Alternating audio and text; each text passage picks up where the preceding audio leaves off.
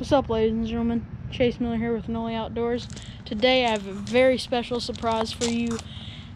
I'll get to it in a little bit, alright? Thanks for tuning in, and I'll see you guys in just a second. Alright, dudes, how are my chickens doing? Let's see. It's been a little bit since I've checked on them. Still in a little crate. Alright, so, yo, they're all healthy. We've only had two fatalities. That's good. Alright, so they've had food and water today. I'll have to fill it back up, but there's my chicky chickies. Alright, now on to the special surprise. Alrighty, ladies and gentlemen, we are uh, we are here. We are at the special location. Now, this is like a bunch of uh, pallets that I made into a little house. You like? You like the house? It's nice. I'm nowhere near done, but we've built it.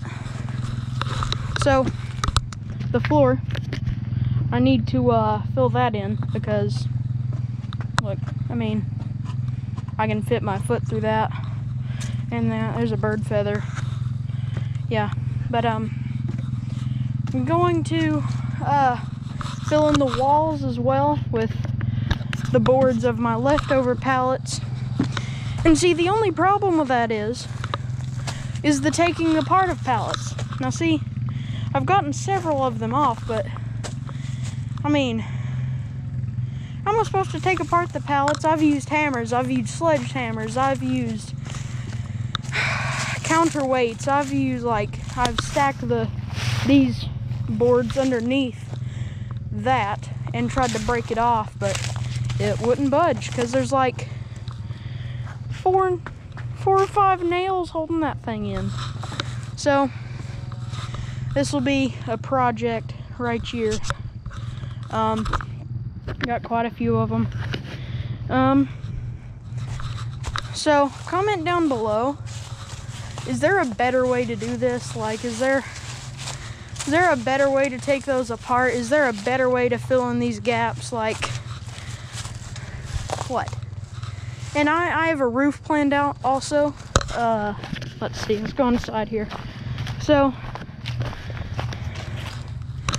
we have this middle beam running across here. I'm trying to move my uh, chest mount up.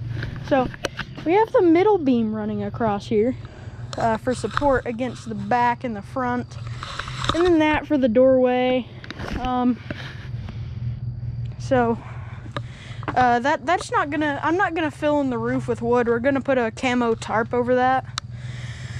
But um, I assume that this is where quite a few videos in the future could take place if I could actually get this thing built. But um, comment down below if you have a better idea. But um, so far this thing is awesome. Uh, you got some corner stabilization going on here, there, and there. Oh crap, I almost fell. Um, uh, the credit doesn't all go to me. One of my friends helped out. Uh, um, one of my friends helped out. My dad helped out. Thanks to them. Uh, and just right up here, I have my chicken coop uh, that uh, we marked on it with, me and my sister marked on it with chalk the other day. We're gonna paint this sucker like a barn. So we were thinking of these uh, second layers being white and then the first layer being red. Red and white like a barn. No idea what's going on here with this top thing. It's levitated. Move that in a little bit. Dag nabbit. Alright, good enough.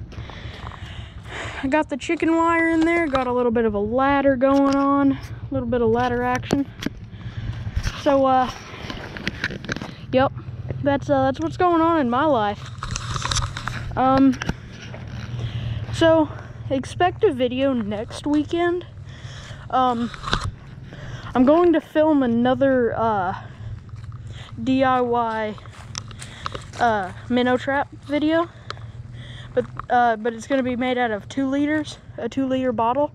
So hopefully that's a little bit easier to find and make. So anyways, expect that video in the future. Um, see you guys in the next one. Thanks for the view. Thanks for liking, commenting, and subscribing. See you guys later.